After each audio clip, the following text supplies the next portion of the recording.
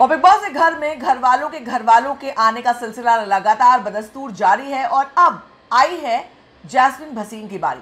Jasmine इंतज़ार कर रही थी अपने पापा का, क्योंकि अपने पापा से वो बहुत क्लोज हैं। पापा को याद कर वो रोई, जब फैमिली वीक का ज़िक्र आया तो उन्होंने कहा, पापा आ जाएँ तो अच्छा है, पापा से मिलना चाहती हूँ। जब वो यादें भी डिस्कस करती हैं तो उसमें पापा का ज़िक्र ज़्यादा होता है। तो कौन आया जैस्मिन भसीन के घर से उनसे मिलने? और क्या सलाह दी? घर वालों की क्या राय थी? घर वालों के क्या रिएक्शंस थे? इस बारे में बात करेंगे इस वीडियो में। अगर आपने सब्सक्राइब नहीं किया जल्दी से कर लीजिए बेल आइकन भी दबा दीजिए। मैं हूँ आपकी होस्ट और दोस्त सरिता। शुरुआत करते हैं।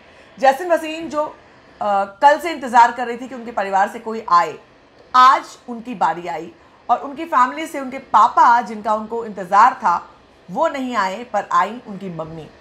और जब उनकी मम्मी आई उनको देखकर जैस्मिन जो यूँ ही इतना इमोशनल होती हैं वो बिल्कुल इमोशनल हो गई। जब फ्री स्टार्स फ्रीज से हटाया गया तो बिल्कुल इमोशनल होकर के वो दौड़ कर गई। एली के चेहरे पर बहुत सारे इमोशंस देखे जा सकते थे। रुबीना के चेहरे पर देखे जा सकते थे।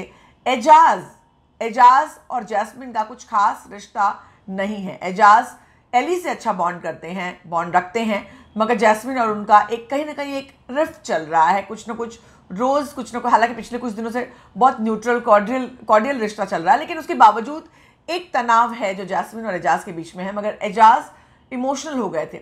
मैंने काफ़ी बार ये बात कही है कि इस फैमिली वीक में अगर कोई एक सेंसिटिव इंसान के तौर पे, संवेदनशील इंसान के तौर पर उभर कर आया है, जिसकी पर्सनैलिटी आपको छू रही है तो वह एजाज हैं। और एजाज आज जैस्मिन की मम्मी के आने पर भी काफ़ी इमोशनल दिखाई पड़े। एली के चेहरे पर भी तमाम भाव आ रहे थे, जा रहे थे। देखना यह है कि क्या जो इल्हाम ने, एली की बहन ने जो थम्सअप दिया है, क्या जैस्मिन की मम्मी ने भी इनके रिश्ते पर थम्सअप दिया है। उनके रिश्ते के बारे में क्या कहा है? रुबीना और जैस्मिन की दोस्ती के बारे में क्या कहा है? चूँकि सभी लोग यही राय देते हैं कि जैस्मिन को रुबीना से दोस्ती बरकरार रखनी चाहिए। जैस्मिन वो हैं जिन्होंने ये दोस्ती तोड़ी थी, तोड़नी चाहिए थी। तो मम्मी ने क्या कहा है? जो खेल बाहर से देख कर आ रही हैं, उन्होंने क्या रुबीना के साथ दोस्ती बरकरार रखने की सलाह दी है? एली के साथ किस तरह का खेल खेलने की सलाह दी है? राखी सावंत और उनके वो नाक वाले कांड पर क्या उनकी मम्मी ने कुछ उनको सजेशन दिया है? और बाहर की कौन सी बातें बताई हैं? चूँकि जैस्मिन तमाम लोगों को नेगेटिव लग रही थी वीकेंड के बाद में सलमान खान ने कहा, बहुत नेगेटिव लग रही हो वर्स्ट इन द लॉट लग रही हो। तो जैसा कि मैं बार बार बोलती हूँ, जब घर से कोई आता है और वो कोई बात कहता है तो वो सच्ची लगती है।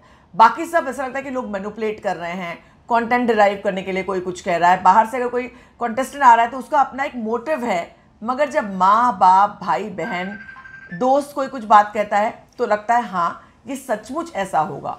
तो ऐसे में उनकी बातों के बाद आपके खेल, आपकी स्ट्रैटेजी आपका मूव बदल जाता है और आप बदले बदले से नज़र आते हैं। हमेशा फैमिली वीक के बाद कॉन्टेस्टेंट्स की चाल बदल जाती है। उनके सोचने का तरीका बदल जाता है। तो क्या जैस्मिन भसीन उनके खेल पर कोई फ़र्क पड़ेगा? उनकी और रुबीना की दोस्ती में कुछ अलग बदलाव होंगे टर्न्स होंगे? अभिनव के बारे में उनकी मम्मी क्या कहेंगी? इन तमाम विषयों पर हमारी नज़र रहेगी फ़िलहाल इस वीडियो में सिर्फ़ इतना, आपसे मिलूँगी यहीं पर अगले वीडियो में।